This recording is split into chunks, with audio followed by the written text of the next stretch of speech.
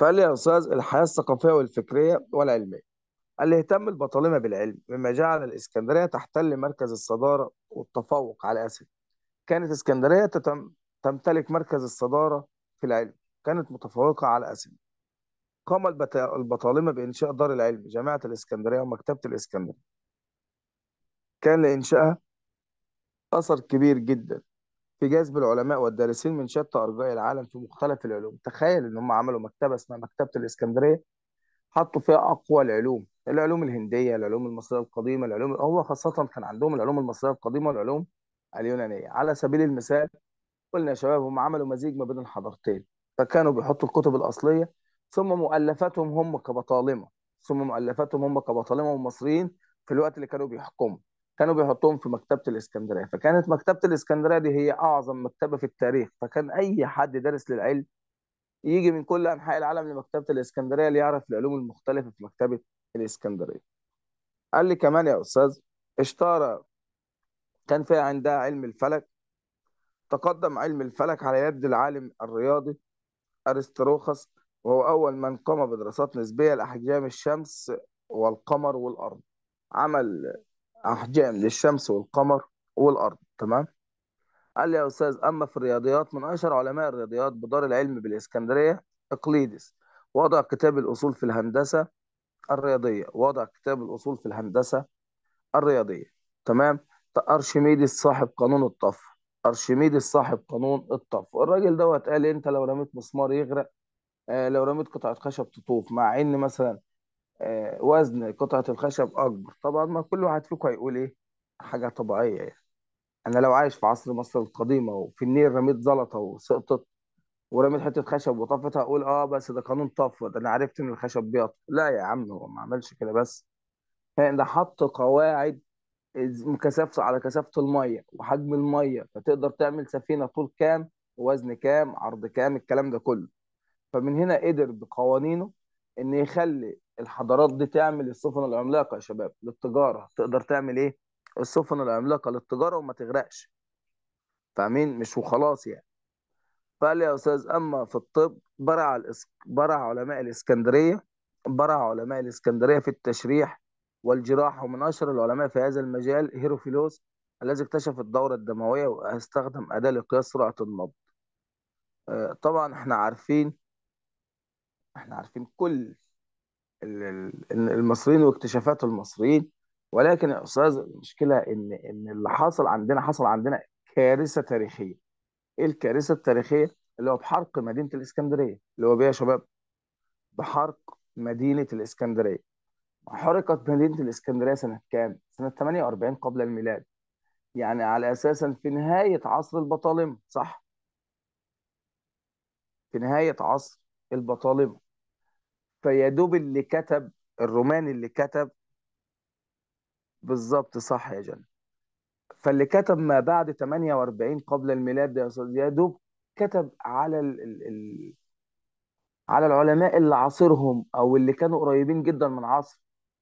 فطبعا أكيد مش هيذكر الفراعنه والفراعنه كانوا قدام شوية وكانوا كلهم محطوطين في في, في مكتبة الإسكندرية كتبهم وأعمالهم أو أو بردياتهم وأعمالهم.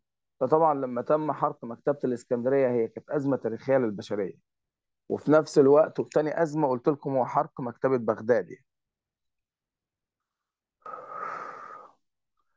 آه، لا اللي حرقها حرقها إحنا قلنا دايما في الحضارات يا شباب بتبقى في حضارة آه، حضارة علم وثقافة زي اليونانيين كده وبتبقى في إلى حد ما في حضارة همجية. ما بيحبوش العلم والثقافة إلا لبلدهم فقط. ودي كانت الحضارة الرومانية. يعني آه أنا مثلا كان عندهم تعصب للحضارات. يعني آه بحب الحضارة ولكن المنسوبة لإيطاليا أو لروما. أما باقي الحضارات المنسوبة لأي حد في العالم لا ما بحبش. بالنسبة لي ما بعترفش بيها. أما اليونان لا كانوا بيعترفوا بالحضارات وبالعلم والثقافة بغض النظر عن الحضارة. ألف الطب زي ما قلنا برع علماء الإسكندرية في التشريح والجراحة من أشهر العلماء. كان ممكن وهيسرقوا آه كان ممكن مش يسرقوا الكتب. هي الكتب عامة يا منى ما بتتسرقش. إنما الكتب أنت ممكن بتاخدها تبني عليها علوم. يعني تقدر تشوف هم وصلوا لفين وتكمل عليها في العلم. زي كما كانوا بيعملوا في كل الحضارات. يعني أشوف مثلا اليونانيين دول وصلوا فين في الطب ثم أنا أكمل على اللي وصلوا له. تمام؟ من هنا اسمها تواصل الحضارات وتكامل الحضارات. أما حرق ما بدأوه طب ما هيجي عليك أنت بالضرر. طب ما انت هتقعد انت 100 سنة تعمل أبحاث صح يا شباب؟ وفي الآخر ممكن تكتشف حاجة أصلا كان مكتشفها وكان كانت مكتشفة في مصر القديمة كنت هتوفر على نفسك وقت وجهد كبير جدا تمام؟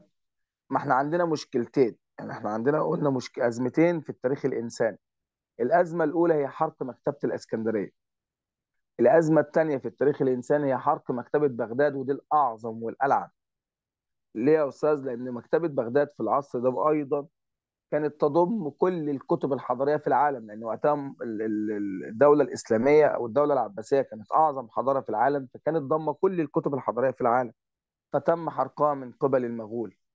فالتاريخ الإنساني مشي بالأزمتين والمشكلتين دول. تمام؟ يعني علشان كده عندنا كتب مفقودة كتير لعلماء مسلمين كانوا اتكلموا في حاجات كتير بسبب حرق مدي حرق حرق مكتبة بغداد لأن بغداد وقتها كانت هي عاصمة الدولة العباسية. فقال لي يا أستاذ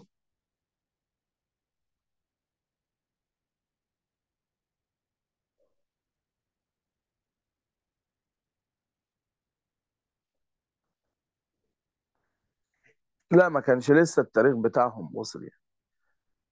قلنا ساعد وجود حديقة حيوان اللي أقامها بطليموس الثاني على تطور علم الحيوان. ساعد ساعد وجود حديقة الحيوان التي أقامها بطليموس الثاني على تطور علم الحيوان. في إيه يا أستاذ؟ قال إنه كان بيعمل التجارب على الحيوانات كان بيعمل التجارب على الحيوانات يعني بيعمل التجارب الطبية على الحيوانات فأدى لتطور علم الحيوان وطبعا الطب يعني. قال لي أما في الجغرافيا شهدت الجغرافيا اهتمام كبير من جامعة الإسكندرية بفضل تشجيع البطالمة. حيث توصل علمائها الكثير من الحقائق والمبادئ العلمية الجغرافية منها. نظرية دوران الأرض حول الشمس وقياس محيط الكرة الأرضية. نظرية دوران الأرض حول الشمس وقياس محيط الكرة الأرضية. وكانوا بيعتقدوا وكانوا بيعتقدوا إن الأرض مسطحة. كانوا بيعتقدوا إن الأرض يا شباب مسطحة. تمام؟ قال لي هو مش على فكرة يعني ده وأنا من اعتقادي إن الأرض مسطحة زيهم. قال التاريخ يا أستاذ تمكن المؤرخ المصري مانيتون من كتابة تاريخ مصر القديمة باللغة اليونانية. قسم تاريخ مصر الفرعونية ل 30 عصر وهو التقسيم المتبع في عصرنا الحالي. زي ما إحنا عارفين كان عندنا مؤرخ مصري اسمه مانيتون ده قسم مصر الفرعونية ل 30 عصر قال لي أما في الأدب شهد الأدب ازدهار كبير وقد أطلق على الأدب اليوناني في عصر البطالمة الأدب السكندري. من أشهر الإنجازات الأدبية نشر نشر ملاحم هوميروس وتاريخ هيرودوت. طبعا كان في علماء مصريين كتير جدا في نفس الوقت يعني لأن مصر لا تخلو في أي عصر في أي زمن في أي حقبة من العلماء. يعني الدولة الفرعونية علماء في عصر البطالمة علماء في عصر الروماني علماء. ده حتى في يعني يعني حتى في الأديان على فكرة حتى في العصر المسيحي كان علماء مصر أقوى. رهبان مصر. مصر اللي طلعت الرهبنه في المسيحية تمام؟ آه، في العصر الإسلامي علماء مصر كانوا أقوياء جدا. مصر نشرت الدين الإسلامي في العالم لحد الآن على فكرة. أقصد ف فدايما مصر في كل العصور وفي كل الأزمنة عندها علماء إلا عصر واحد. هو عصر الحكم العثماني فقط اللي ما كانش ضامنين لما كان يطلع عندنا عالم تمام؟ وبكده المفترض إن انتهى الدرس بتاعنا تمام؟ اقفل الريكورد يا يوسف.